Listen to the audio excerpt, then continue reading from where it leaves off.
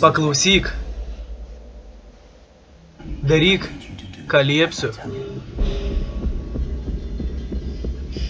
Turiu išvežti tave su berniukais iš čia. Saugot karalių. Greičiau. Bėk, sūnau. Pamatei, ką norėjai? Pamačiau pakankamai. Kodėl nuslūgo vanduo? Kodėl kalavėjas pasirodė būtent dabar? Augant tavo galiai, didėja ir priešingos jėgos. Ateis tikrasis karalius. Tai neišvengiama.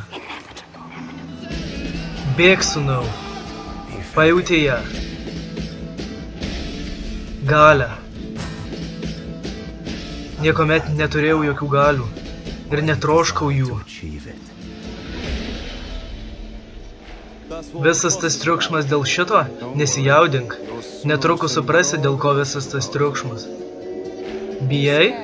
Susitvarkysiu. Turėtum bijoti. Ko be prireiktų jį sučiupti? Jei žūsiu, eik paskui jį. Jei žusis, eik paskui mane. Nori, kad siektų savo tikslo? Tai duok kažką, kad darytų jis tai.